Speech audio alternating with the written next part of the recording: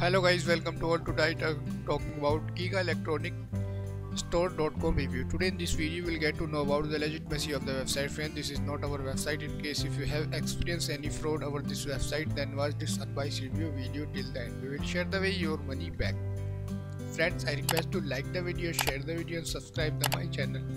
Let's talk about website legitimacy checkpoint. This website trust score is 1 out of 100 the trust score of this site is very low. Why? The trust score of GigaElectronicStore.com is extremely low. This is a strong indicator that the website may be a scam. We rated Giga Electronic Store using a computer program. The algorithm has scanned the website looking at the source code being used, term and condition, registry location of the company, and if the website has received many positive or negative reviews used all this information to create a trust score. Based on our analysis we gave this website a very low score. If a website receives a very low review from us we really recommended you to double check if the site is not an online scam but really safe to use. Guys this website negative highlight.